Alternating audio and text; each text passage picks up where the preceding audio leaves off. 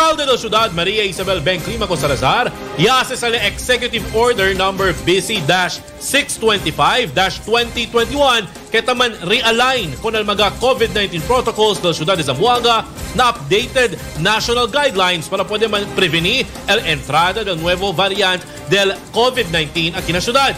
El nuevo EO tiene título Zamboanga City COVID-19 Guidelines kaya taman cover kon quantos mga guidelines del mga lugar baho ng modified community modified general community quarantine.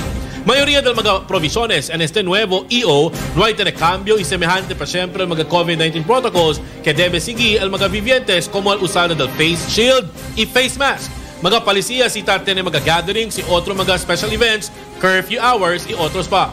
Pero tiene mga provisiones en este EOL ya tiene cambio como elang el policía na public transportation, especialmente na mga tricycle.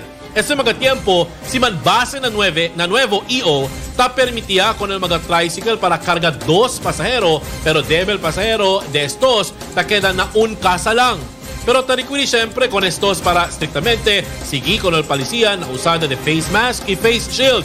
El otro feature de este nuevo EO amo el mandatory wearing del full coverage face shield with face mask outside residence.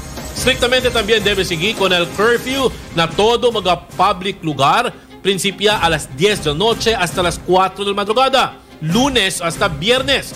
La implementación del liquor ban na todo mga establecimiento ta implementa pa siempre lo mismo si el no face mask, no face shield y no entry policy.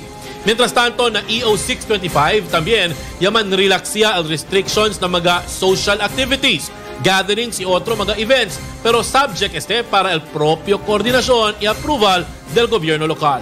Debe también el mga komemorasyon del mga importante events y legal holidays hace corto Mientras el mga fiesta también a diferentes mga barangay debe estar simple, siguiendo siempre con el health protocols.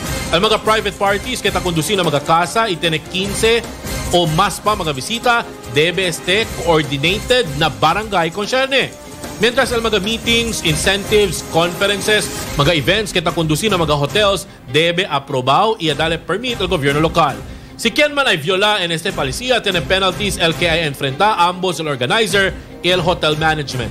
Y dale también warning el gobierno local que aquellos mga persona quien ay viola con el mga provisiones en este nuevo EO ay queda subject na criminal prosecution bajo na Ordinance Number 532 o el COVID-19 Emergency Ordinance del Ciudad de Zamboanga con pena que taman range principia 500 pero para 5,000 de pesos.